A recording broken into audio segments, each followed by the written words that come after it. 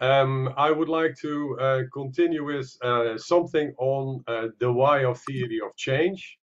Uh, and uh, you see there's a very nice image there. It's uh, theory of change. There's a lot of color to it, I would say. But maybe we go back to planning and planning how it was perceived in the in the future. Um, I think this little image shows a lot about how planning was perceived in the past. Uh, you may have uh, tried this earlier, but if you take one little ball out of this and you uh, let it go, then it will click against the, all, the, the, balls and it will very automatically, it will start moving and clicking. Uh, it is really easy to foresee what will be the change as a consequence of your actions. And uh, that is often how planning was perceived before. You do things and the, the things that you do will produce change. Now, uh, this has been subject to a lot of uh, criticism and a lot of uh, reflection because, hey, uh, is it so obvious that uh, a change will happen if we do things? Uh, well, maybe it is a miracle, and and maybe we have to give it a little bit more thought about how change is actually taking place, and especially when we talk about complexity um, we would like to know a little bit more, try to understand a little bit more about uh, why uh, why the things uh, uh, occur the way they occur. So theory of change really tries to fill in this gap, this miracle gap, uh, trying to map change processes in complex social fields in the in the way in the areas in which we you may we be work. familiar with logical framework analysis or uh, logical frameworks without the analysis part or results frameworks. Uh, a few things of criticism in relation to this, because this gave the way to thinking about other types of planning tools that would be available for projects and programs. Usually the idea was that logical frameworks are reductionist. The change process is bigger than the, what you capture in a logical framework. So you reduce reality, you try to make it more simplistic uh, in order to be able to think about, well, can we control the change processes that we would like to bring about? Linear thinking, uh, if A happens, B will happen. But uh, it may, may be that other changes will also come as a result of the change thinking. So it is too linear. And of course, in logical frameworks, we have a focus on quantitative change, meaning things that we can measure, change that we can measure, and often at the level of, of outputs.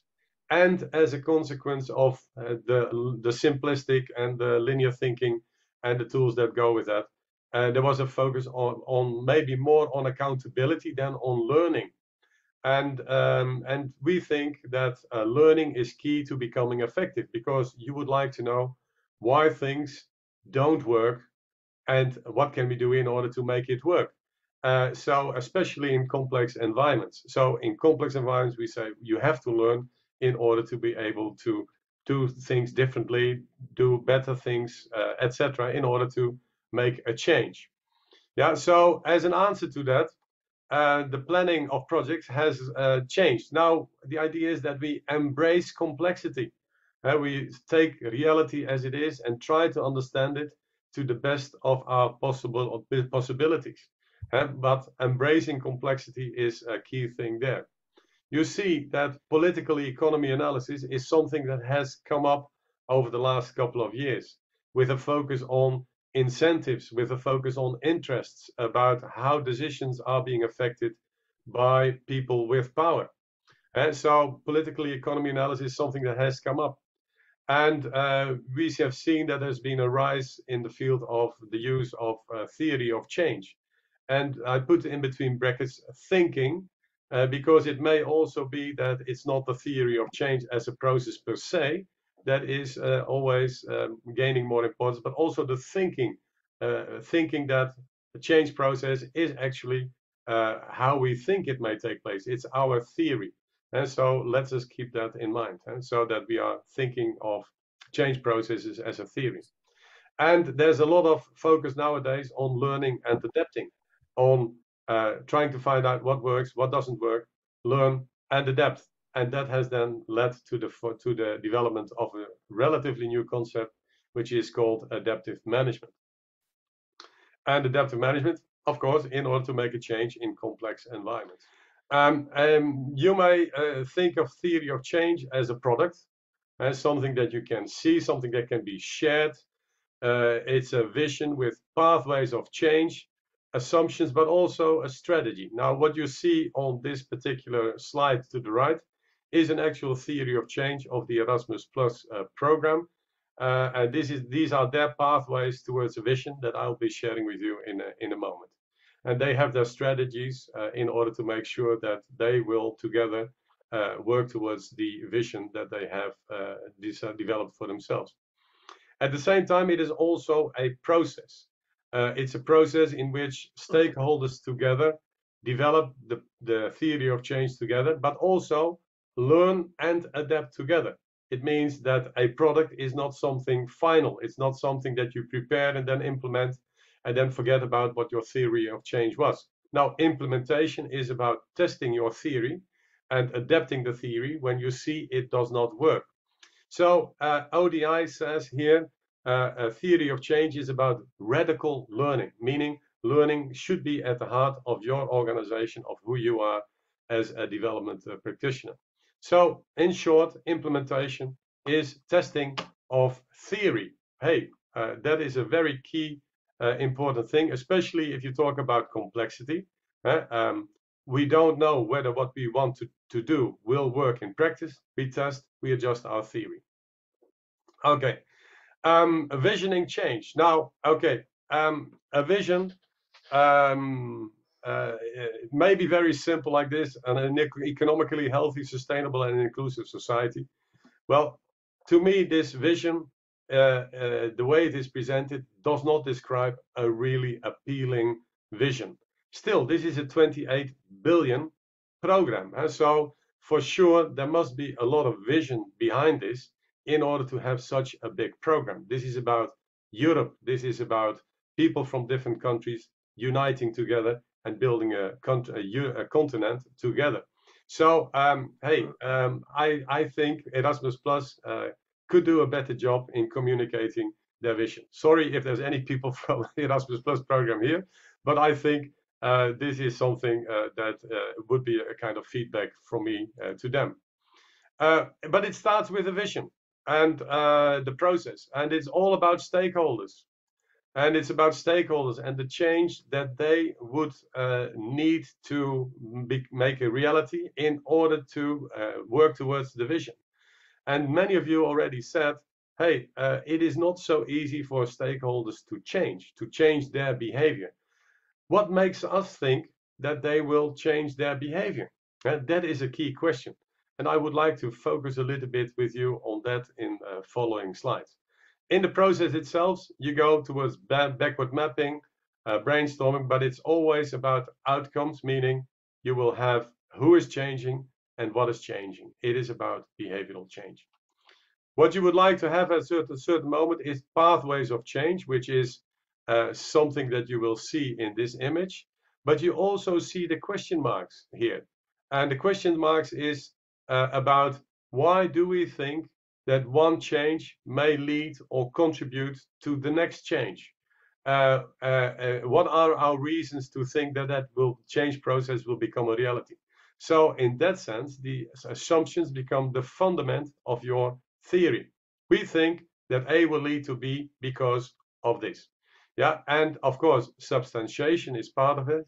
Substantiation is about collecting information to tell us something about whether or not this assumption actually will be true or may be true. And so getting information is key when it comes to uh, identifying uh, assumptions. Okay, let us have a closer look at, uh, at a, case. Uh, will A lead to B, uh, our underlying assumptions? And I have an example here uh, with you that say, hey, citizens, if citizens get the information about healthy food, maybe through websites, social content and advertisements, then they will change their food consumption. They will consume more healthy food. Okay, hmm, okay. Uh, yes, it sounds very obvious. It sounds very logical. But if we zoom in a little bit on why we think this may take place, we will come to all kinds of assumptions underlying this change process. And I listed a number of you of these assumptions for you to the right. Possible assumptions. Hey, is information accessible? Hey, will they understand the information? Hey, is the information new? Hey, do people actually care about their health? Hey, do they have the willpower to take action? Hey, is actually healthy food available? Hey, do people have sufficient money to buy this food? Hey, and what about the social environment in which people are going to change their uh, food consumption? So you see that uh, something that sounds obvious in the beginning uh, may be a little bit more complex if you zoom in on your underlying assumptions. Now, all these assumptions that are there are uh, elements that you can test, that you can get information about.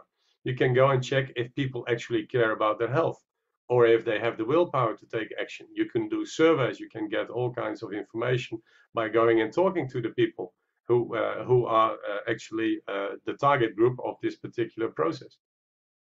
So uh, assumptions is not such uh, uh, an easy thing. I think this is at the heart of theory of change. And okay. And and then on this short overview, and because if you have this these assumptions, then you can also say, well, what are the strategies, and you have your theory of change complete. Uh, but have, have a look at, at the theory of change uh, uh, as a kind of product and the kind of uh, uh, element here that you say, well, what are the key messages that you would like to have? So for me, uh, and for us at MDF, I think a vision should be inspiring and inclusive, meaning uh, we are talking about the social domain in which change we would like, in, in, which change uh, would like to, uh, we would like to take see place. Assumptions are often about stakeholder behavior. They're the fundament of the theory. So keep keep a close eye on these assumptions and also if you think about your assumptions um, and there are things that you don't really know or you really uh, would like to learn about make sure that you translate these uh, uh, learning uh, areas in actionable learning agendas i put indicators between brackets because indicators uh, are very much about quantitative aspects of change learning agendas are much more uh, helpful in getting information in a qualitative manner that will help you learn and then adjust afterwards. So, and if you have that, then I think you will also have a theory of change as a basis for adaptive management. And then the last uh, core message on this slide is theory of change as basis for partnerships. Hey, um, if you map change processes, it becomes quickly relatively complex because, hey, we are embracing complexity. That means that there will be a number of pathways that you say, hey, this is a pathway on which we will be working. But if we want to really work towards our joint vision or our vision, then we may have to make partnerships with other actors who are also working in the same field. So the theory of change then becomes a basis for partnerships. Okay, um, I would like to go a little bit ahead and uh, this poll I'm going to uh, skip. Um, I would like to think a little bit with you, uh, with you on um, on this idea of stakeholder behavior. Um, um, we have realized at MDF that stakeholder behavior is sometimes very, very difficult to predict. Uh, some, something very difficult also to achieve. So we say that we really need to make a bigger effort to understand uh, about these stakeholders and uh, what may move them towards the behavior we would like to see for these uh, stakeholders. So that's what we call target behavior. And so we use the COM-B model you, that you can see here in the, in the screen. Um, and it has a number of elements. It's about capability. So can they actually change? Can this behavior be accomplished in principle? A question that you have already answered. And many of you said, well, most stakeholders may not be really capable of changing. Okay, so what does that mean for us as a project or a program? And the opportunity, is there sufficient opportunity for behavior? I would like to change that also to, can stakeholders actually uh, change their behavior within a stakeholder environment, meaning all the stakeholders that are out there, uh, they will have relations with the stakeholders of your project yeah, and uh, how do they relate to each other? What is the playing field in which these stakeholders cooperate and work together? And then, of course, the last question, motivation, or do they want to? What is in it for the stakeholders? So we use this uh, tool a lot in order to identify our own assumptions in relation to stakeholder behavior. We take it a little bit uh, further. We don't just think uh, about uh, inventorizing possible assumptions, but we try to analyze the stakeholders and then uh, think what the assumptions are. I, we think that makes your theory of change much more in line with uh, the complexity of uh, change processes. Okay, so a question. So what do we observe in practice? Because if this is about uh, theory of change and about uh, about uh, already some core messages that we see, we see this in a few words. so um, um, there's two sentences here um, many of the theories of change that we see do not embrace complexity. Uh, we see theories of change that are again relatively uh, linear, relatively simplistic. Um, um, it, it, if we implement those theories of change, we do not do justice to complexity. Uh, and we think more could be done in order to have a theory of change of quality that really uh, is based on a better understanding of complex reality. So that is our uh, our key thing here, and that leads to wishful thinking. Um, uh, still, uh, if we do this, then that will happen. In other words, this miracle gap that I was talking about earlier uh, will not be addressed. It is still a miracle gap. If we do this, we assume, we hope, we think that change will take place in line with our thinking. And then we are surprised that, hey, things don't change. Why would that be? Yeah, maybe a little bit too late. Maybe it is good to uh, do a better job right, uh, right from the start and, uh, and make a better theory of change. And um, some core messages in that, uh, in that relation. Yeah, so uh, how to make a better theory of change? That is the key question for us here. So focusing on the, on the process um, of developing a theory of change, involve people who know. Uh, it sounds easy, but it is actually quite complex. involving people who know who know best. These are people often who are facing, who are in the middle of this complexity. People you would like to work with, people in the communities, people in schools, people in universities, uh, people in organizations that face consequences of political uncertainty. So involve these people and try to map the change processes that uh, you think uh, will become the pathways of your theory of change. Yeah, um, and I go to the one uh, towards the bottom that also focuses on being inclusive. Make sure that the people who really need a voice around the development of projects and programs that their voices are heard. So be inclusive and make sure that you use a gender lens because it is too easy to make a theory of change that is gender blind and that will cause more problems in the field of gender than, uh, than that it helps resolve yeah, or helps change the status quo. So I think that is a, a, key important part there.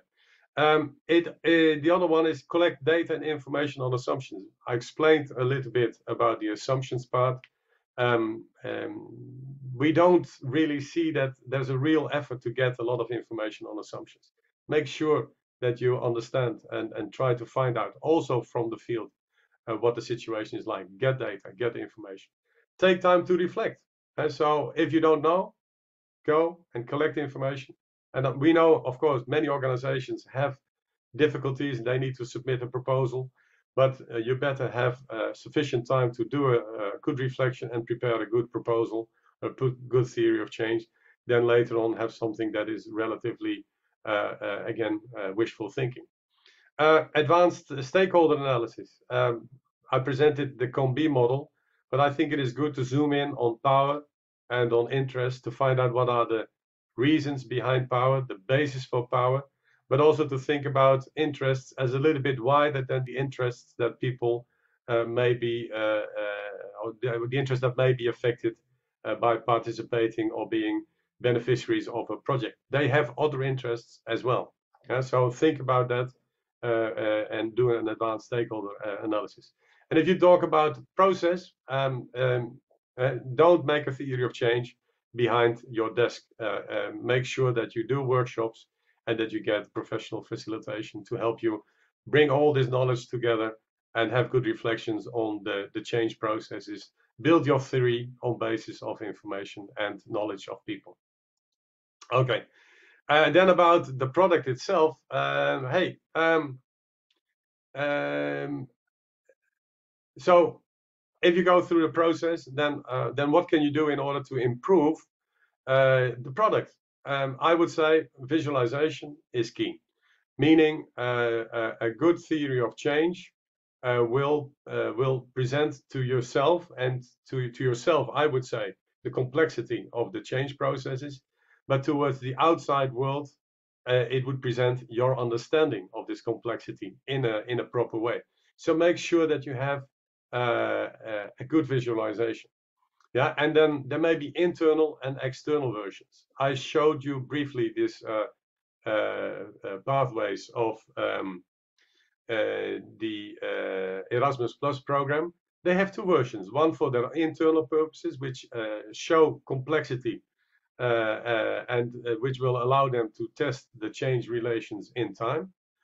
so, hey, that's a very interesting one for themselves. But they have another one that they share towards the outside world, which is more focused on gaining support for their change processes and uh, that they would like to bring about and um, a little bit simplified uh, version, I would say. Again, be afraid, don't make it too simple, but uh, I think it is good to have these uh, one for communication purposes and one for your own internal learning and reflection purposes. Um, in terms of the product itself, uh, strategies, um, uh, RF stands for results framework. You can have a theory of change first and then build your results framework. Don't do away with your uh, theory of change. Don't throw it overboard. Keep it there. So that means that your results frameworks is then based also on a on a sound theory uh, of uh, of change. Then it says TOA, theory of action. Uh, so this is more about your theory on what it is that you're going to do and the, the change that you would like to bring about.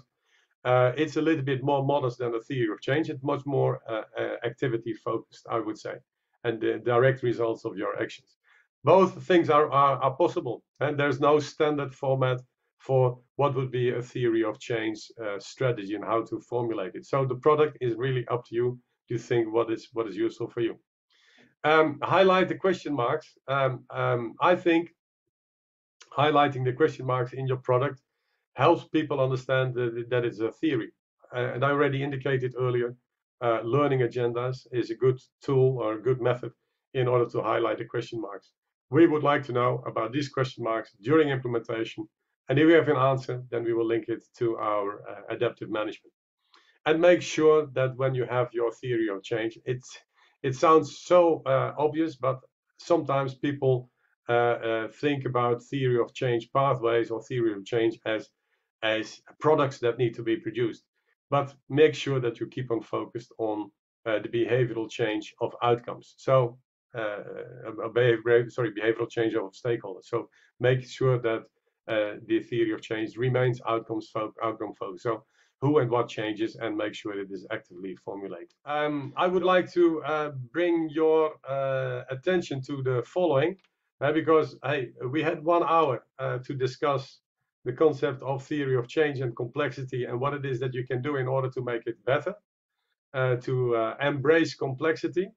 Um, and uh, first of all, um, I would like to draw your attention that we have a course, uh, and Martin is there, uh, and he's the one who designed this uh, e-learning platform for becoming more acquainted with the various steps in theory of change development.